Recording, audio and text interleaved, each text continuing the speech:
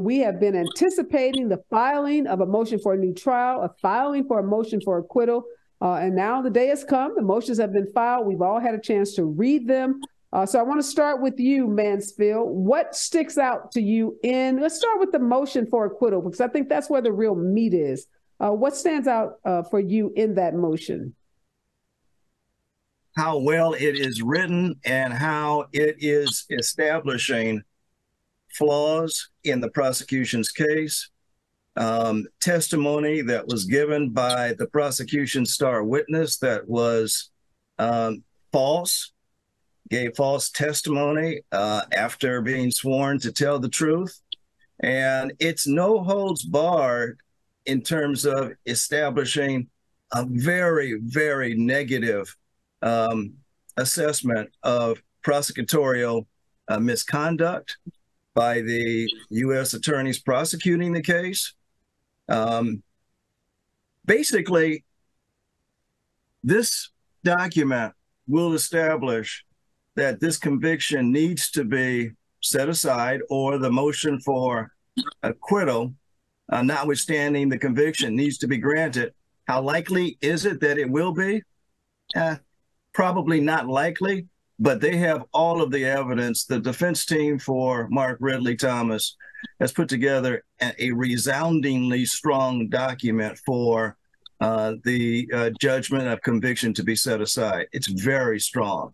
And it's, I would tell your listeners to to be in the courtroom on June 26 at 8:30 a.m. because that will be a moment to um, to really see how the prosecution squirms out of this one. Um, so, Areva, it is not uncommon in many criminal cases, both state and federal, for prosecutors to make mistakes in terms of both present the presenting of evidence and in close, um, closing argument, opening argument. Oftentimes, and, and Mansfield will probably co-sign on this, and and Dion also.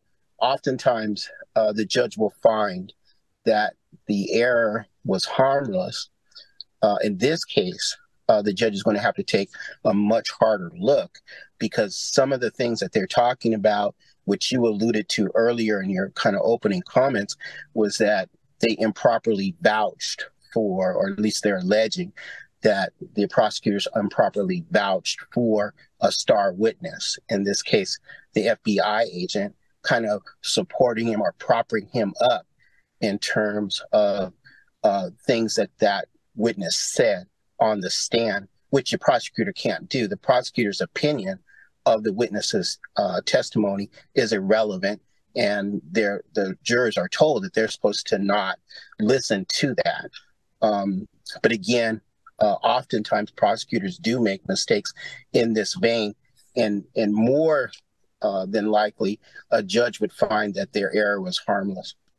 Well, let's talk about the big elephant in the room, Dion, and that's the allegation that the star witness gave false testimony. I have to imagine, Bobby, that now we're getting into really dangerous territory when you start talking about an FBI agent, star witness for the prosecution, giving false testimonies. Dion, you were in that courtroom. You saw that FBI agent. You heard him, you saw him, you witnessed his testimony. Were you surprised to see that a big part of the defense's argument is that this guy gave false testimony and then it was relied upon by these jurors? Not at all, Areva. Uh, he was their star witness. He was a centerpiece or the centerpiece, actually, of their case. And so, what they highlighted um, in this motion is that um, that he testified falsely. That's huge, coming from a, a government agent again, who's the, the centerpiece of their case. That he claimed that he reviewed some four hundred thousand documents, but when it came to documents um, concerning Sebastian Ridley Thomas, he admitted that he had not read that, but somebody on his team would have. But he couldn't even say who that person on the team was. And that was never cured. Also, um, very significantly, a testimony alleging that um, a, a county official, Dr. Sherin, did not support the extension of the telehealth contract. There was no evidence to support that or that that was even true. In fact, they didn't um, they chose at the last minute to not call Dr. Sherin, who was there and who had been there for a certain amount of days, ready to testify. That would tend to to show uh, to indicate that they knew that that these allegations um, were not true. Also, that he um, was um, untruthful about um, uh, Dr. Ridley Thomas threatening to cancel or rescind contracts. Uh, there was absolutely no evidence to support that, and very um, masterfully, I will say that the um, the motion also says that it it, it was uh, Atkins who created the pathway, and I'm quoting here, who created the pathway to infer that the telehealth contract was not genuine. And therefore, the jury could infer that this was something inappropriate, something that Dr. Ridley Thomas had used to influence um, Marilyn Flynn.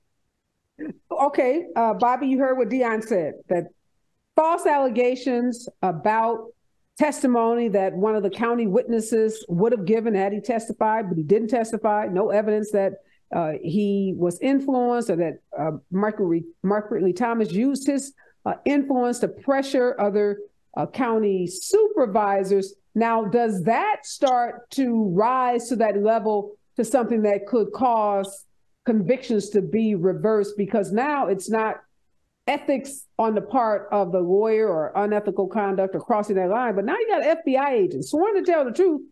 And here's evidence that he didn't tell the truth. Does that concern you? Well, it's it's definitely concerning, and it should be concerning to the prosecution. Anytime that you would put on an FBI agent, and the uh, FBI agent is being alleged to have lied on a witness obviously that's concerning. Uh, in a trial, uh, I think um, everybody on the panel would agree that the jury uh, determines what the facts are, and and oftentimes in argument and in moving papers after a trial, the defense will argue that somebody lied. Um, oftentimes, judges, when reviewing this, and even on the appellate level, they'll look at it and say, well, this was a matter for the jury to determine who was telling the truth and who wasn't telling the truth. The bigger picture here is did the prosecution prove to the federal legal standards what Mr. Ridley Thomas, uh, Dr. Ridley Thomas was actually guilty of. And that seems to be the confusing uh, matter here that we've all been talking about, you know, from from day one in this case, and especially after the verdict came in, and we had that whole uh, conversation about what the juror said afterwards.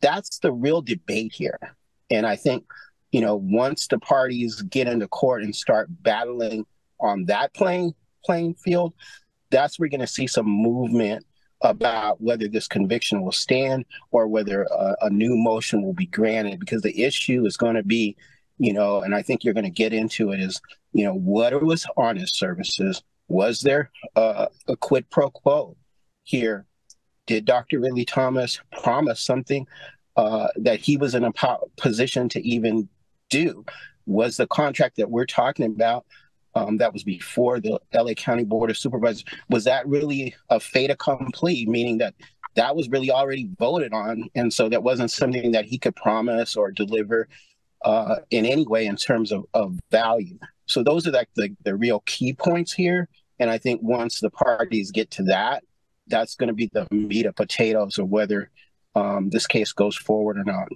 The defense attorneys are saying that the prosecution knowingly presented false evidence and that they collaborated with the star witness in introducing that false testimony at trial and that all of the false testimony that was given was material now that's that's a that's a pretty big um, issue that a judge is going to have to deal with is it likely that this judge will agree that, uh, that the prosecution knowingly presented false evidence? If you read these motions, you could easily come to that conclusion because the motions are very detailed. Uh, in in based on my experience, do I think that this motion could get uh, could get the uh, Mark Ridley Thomas to a point where the judge basically has to sit up straight and say, you know, maybe I did, I did, I did not conduct this trial with a tight enough uh, chain, a tight enough leash. Maybe I should not have, uh, uh, you know, passed on rulings that the defense was asking me to make at the time. Because what has happened is the defense, in their motions, they're saying not only that was false testimony uh, was solicited and given, but they're also saying just the cumulative impacts of all of the discrepancies that the judge allowed to take place in the trial just denied Mark Thomas a, a fair trial. Uh, it does happen. Do I think that it could happen based on the, these two motions? Um, these two motions certainly open up the, the doorway for that to happen. Yeah, and Bobby, one of the other big issues that's highlighted in both of these motions is the prosecution's failure to establish every element of the crime. Uh, and for instance, on the honest service fraud, they said basically they didn't present any motion and agenda agenda item from the board.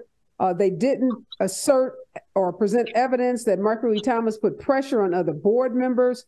And they really make a big deal out of the fact that they didn't meet their burden because they didn't call any county employees.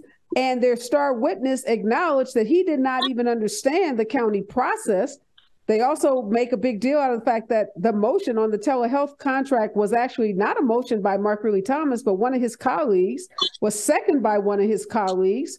So they're saying all of the elements to even establish these crimes wasn't met by the evidence presented by the prosecution. How persuasive do you think those arguments are? I'm very interested to see um, the comments that the judge makes in terms of finding evidence in the record that would support this conviction on all of the things that you just pointed out, Mariva. That's going to be really, very interesting. And it's going to take some work on the part of this judge to uh, present a cogent argument that there was evidence in the record on all of these different points. And I think that's um, that you've hit the nail on the head. That's the strongest um, point that the defense is going to be able to make in these motions that they're going to bring uh, before the court. I think um, it is um, disturbing that a lot of this case seems to be based upon uh, the opinion of an FBI agent. Um, but I do think that a judge would likely say, well, the jury was made aware of the fact that the uh, witness was opining and giving uh, that his, his opinion on these matters. And so, therefore, the jury could have regarded it or disregarded it. Obviously, um, that's the whole main point of the defense is that the judge should have never allowed that evidence to go to a jury. And as Mansfield points out, um, it'll be difficult for a judge to say, well, I made a mistake and I shouldn't have allowed that um, to go to the jury. And that's when appellate courts come in. But I think in terms of uh, making arguments in front of this judge, that's going to be the bigger point is is there evidence in the record that supports this conviction and can the judge find that evidence and um, present that evidence in her ruling as to whether the conviction should stand.